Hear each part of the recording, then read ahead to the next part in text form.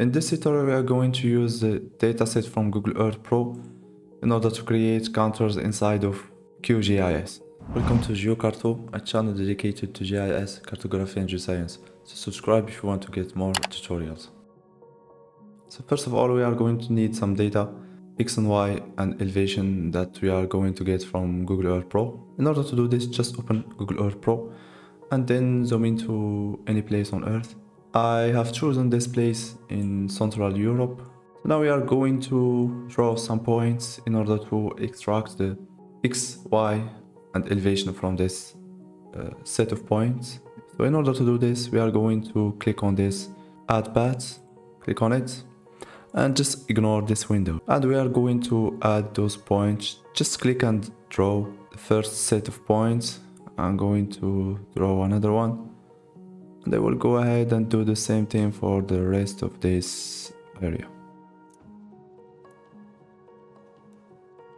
So now I will go ahead and add some vertical points. So the more points you have, the more your contours will be accurate.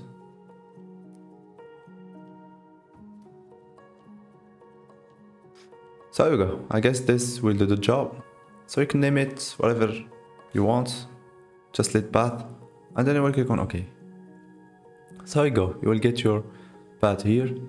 Now we are going to save this path. In order to do this, right click on it and then click on save place as, and then navigate to where you want to save it, name it, and then click on save. After this, go to this website GPS visualizer slash elevation or simply click on the link under the description below we'll go ahead and upload our KMZ file.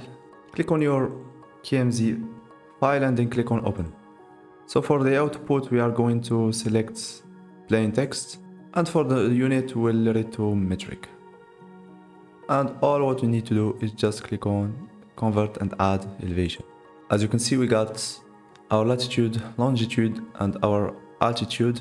This is the file that we got from our conversion operation. So now we will click on it in order to download it.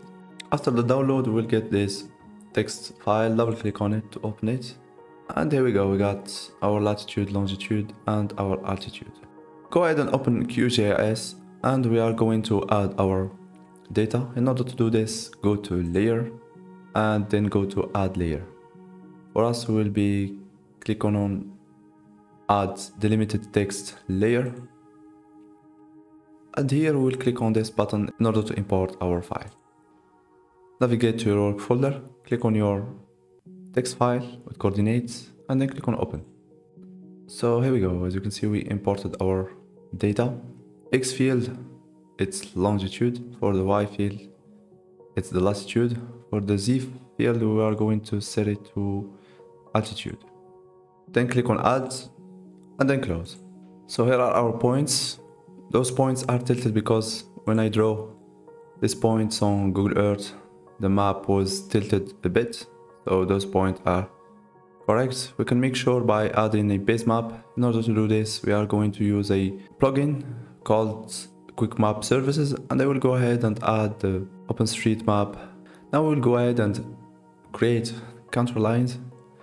To do this, we are going to use a plugin head over to plugins and then click on manage and install plugins.